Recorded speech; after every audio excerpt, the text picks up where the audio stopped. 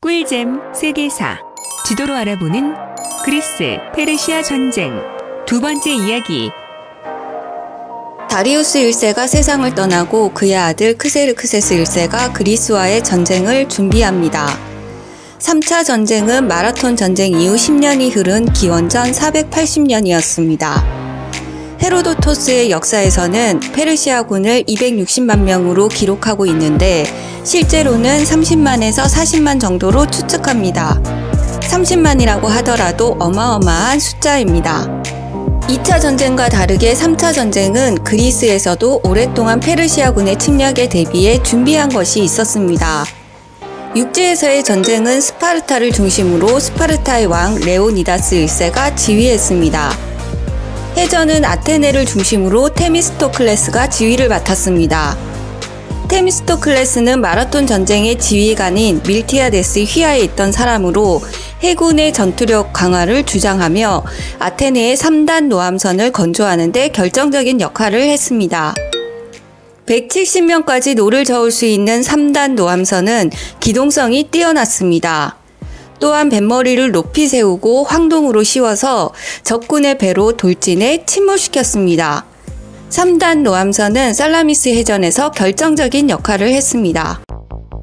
페르시아군의 해군과 육군은 거침없이 아테네로 향하고 있었습니다. 그리스 연합군은 아테네의 최후의 보루였던 지점에서 총력전을 준비합니다. 바다로는 아르테미시온 해협, 육지로는 테르모플레 협곡이 결정되었습니다.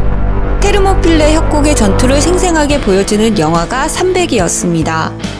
무기와 인원에서 비교할 수 없을 정도로 많은 페르시아 군이었지만 이 협곡에서는 한꺼번에 많은 인원을 투입할 수 없었고 결사항전으로 버티고 있는 그리스 연합군을 뚫을 수가 없었습니다. 초조해진 페르시아 군에게 뜻밖의 사람 에피알테스가 등장 우회로를 알려줍니다. 그리스 연합군 입장에서는 배신자였습니다. 에피알테스의 길 안내로 페르시아군은 승기를 잡았고 그리스 연합군은 일부 군사들만 남겨두고 철수하게 됩니다. 남아있는 군사들은 최후의 전투를 벌였고 모두 전멸했습니다. 이때 지휘를 맡았던 스파르타의 레오니다스 1세도 함께 전사합니다.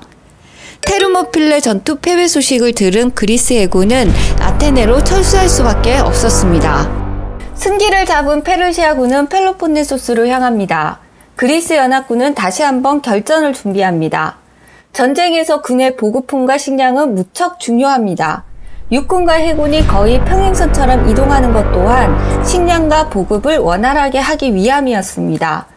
그리스 연합군의 작전은 최대한 전쟁을 지연시켜 제한된 식량과 보급품으로 페르시아군이 철수할 수밖에 없는 상황을 만드는 것이었습니다.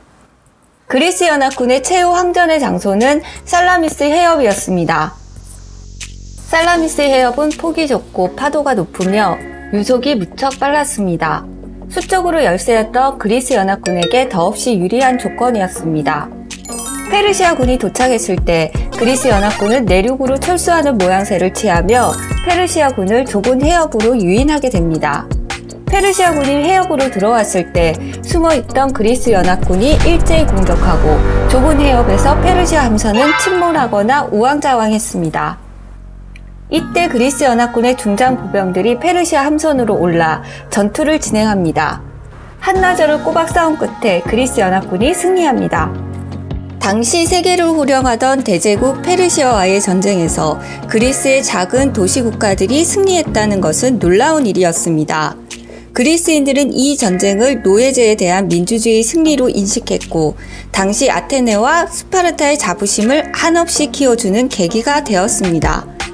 그리스와 페르시아의 전쟁 이후 페르시아 제국은 서서히 흔들리기 시작합니다. 왕조 내부에는 권력 투쟁이 심해졌고 왕이 암살되거나 왕족들이 처형되는 일이 잦아지게 되었습니다. 이런 혼란은 100여 년간 반복되었고 그리스 마케도니아 왕국 출신 알렉산드로스의 동방 원정으로 페르시아 제국은 역사에서 사라지게 됩니다. 이번 영상을 마지막으로 19회에 걸친 메소포타미아 역사 이야기를 마무리할까 합니다.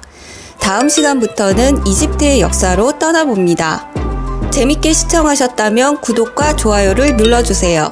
그럼 다음 시간에 다시 만나요.